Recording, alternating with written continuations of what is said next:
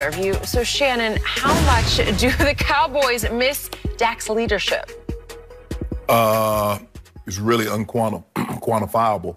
Um, I think the thing is the mistake that Jerry was making, Skip, all he was looking at was Dak production on the field. And these issues never arose because Dak was always there.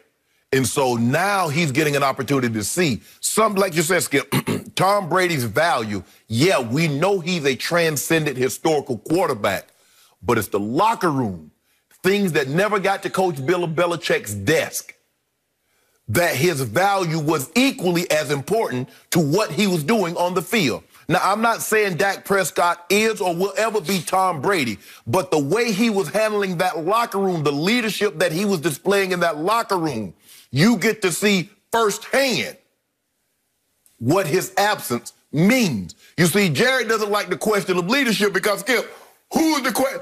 In Jerry's mind, who's the unquestioned leader of the Dallas Cowboys? Him. Not even close. It's him. I agree. So he got upset that the guy said, no, it ain't no leadership problem because I'm still in charge. I'm still here. Mm-hmm. So that's what Jerry took offense to. How dare you say someone else is, is a bigger and better leader of the Dallas Cowboys than me? Well, actually, live, Jerry, an owner can't ever be a leader. You know why, Jerry? Not to the, the extent that you're thinking, because he's not in the locker room every day. There are things going on in that locker room. You have no idea what's going on, Jerry. But Dak would, because Dak would be in there. And they would feel comfortable enough. Some things they don't feel. Now, they'll go run upstairs and tell you something that Mike McCarthy or Mike Nolan's doing. Mm. But there are other things that they're only going to share with someone that they feel is on an equal plane with them. That's a player. So, yes, they absolutely miss Dak. And his value, Skip, did you know Dak reached the $40 million plateau bar and, and been out for the last four, five weeks. Dak's value is actually increasing. It's like with them old cars, Skip. You remember you had an old car back in the 60s, 70s? You never knew it would be as valuable in, in, in 2000 or the 2020s as it was like, man, that no piece of thing. Dak Prescott ain't playing the game. And, and, and Jerry Jones is starting to realize that his value although he's not playing, is increasing because he brings more than play. It's leadership. Mm. And it's that is greatly missed in that locker room. And Jerry is finding out that, that out the hard way. Mm. Skip, they traded one of your Pro Bowlers yesterday. Uh-huh. what does that mean? I'm just saying, it just goes to show you. So I mean, I mean, you the worst defense in football, and you trading some of your best players. Mm. Are they tanking? Are y'all start? What, what have I told you the last two days? No, you know what, Skip? Everson Griffen is really not a Cowboy. He signed with the Cowboys, and when they start trading players that they drafted, mm-hmm. then that's going to show me something. I mean, but guys, I mean, Skip, is Dontari Poe even playing anymore? I barely seldom see him on the field, Skip. Mm. And so Yes, there's a leadership void. Jerry took exception yep. to the interviewer asking him about leadership yep. because that's an indictment on him. Mm. And how dare you question my leadership? Okay. Very quickly, I'm going to address the Everson Griffen trade, uh-huh. which did not surprise me. It startled me, but it didn't surprise me when I sat back because I've told you for two straight days on this show I believe that Jerry Jones is secretly sitting back and folding his arms and playing for Trevor Lawrence. I believe it. And you say, well, how are they going to outlose the Jets? I don't think my team, the Dallas Cowboys, are capable of winning another game this year. So they're going to finish 2 and 14. Can that outlose the Jets? Well, who, who haven't lost, um, won a game yet, right? Well, Coach, Coach Belichick might say, hold my beer. Okay. He might be trying to outlose. okay, maybe. Okay, so that's Everson Griffen, yeah. who, by the way, made the Pro Bowl last year in Minnesota. Maybe it was on reputation, but Detroit snatched him up because against Detroit in that division, when he was a Viking, he was really good. 19 games against Detroit, he had 16 sacks. Yeah. Okay, so he played at a pretty high level. They need a pass rusher, and they said, "Thank you very much. Yeah. We will take him." They gave the man away for a six, a six round, six conditional round six round. That means he's probably got to play. He's yes. got to produce. He's got to have X sacks yes. to get a six, or you're stuck with a seventh round pick.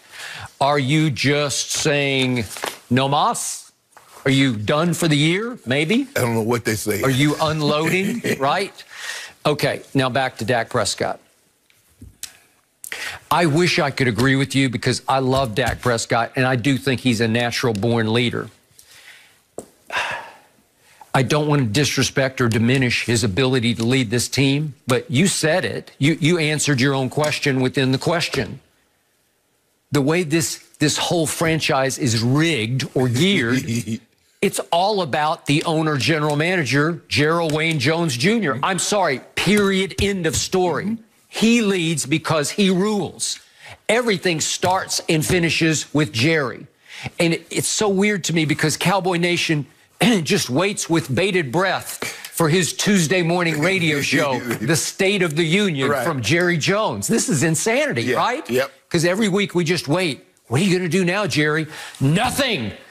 I believe in Mike McCarthy. I've got my man in Mike McCarthy. And isn't it sad that you have your man in Mike McCarthy because you chose him that because he had the strength of being able to lose and stand tall. It's not about him winning games. Jerry was raving about his ability to stand tall under adversity. Skip. Really? So that's why you hired the guy? Because he can take it on the chin? Skip, can you tell me the adversity Really? he endured having Brett Favre and Aaron Rodgers? Well, they did at the end because he fell apart with Aaron and they had some rough times. When Aaron right? got, think about it. When Aaron got hurt, mm-hmm. now if he, when Aaron gets hurt, if he can keep them Yep. as a pretty good team, like Kyle Shanahan Yep. does, Okay. okay, I can say that. But his team fell apart when the guy, when Aaron Rodgers got hurt. Okay, so you're suggesting that all of a sudden Dak has gone into the $40 million range just in his absence.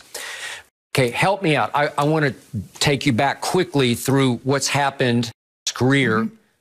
He lost Zeke, remember, in 2017, and they went to Atlanta. The Yes. first game was at Atlanta. And do you remember what happened? Yep. They did not have Tyron Smith Yep. for that game. Eight, eight sacks happened. eight sacks happened. They lost 27 to 7 to Matt Ryan and company. Mm-hmm. And Dak was pretty awful, but how can you not be awful when you don't have time to throw and you're getting rocked from your blind side again and again and again? Correct. Well, where was the leadership that day? Well, you can't lead against that. And then they come right home, they lose to Philly, and your guy walking to him, mm-hmm. 37 to 9. And Dak had a QBR of 16 on a scale of 0 to 100.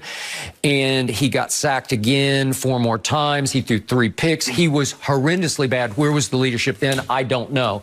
Then came the Thanksgiving Day game that you referred to yesterday. It was the San, then San Diego Chargers, Yep. Philip Rivers. They go to Jerry World on the Thanksgiving Thanksgiving stage, and they rout Dallas. Uh, just blew them off the field, 28 to six, and Dak had a QBR of 19. Where was the leadership then? You, you can't. And then Green Bay, they fell behind 31 to 3. I mean, that, that looked like a team that had folded up. Then they go to the Jets and they fall behind 21 to 6 at halftime to a terrible Jets Right. team, right? And they lose 24 to 22.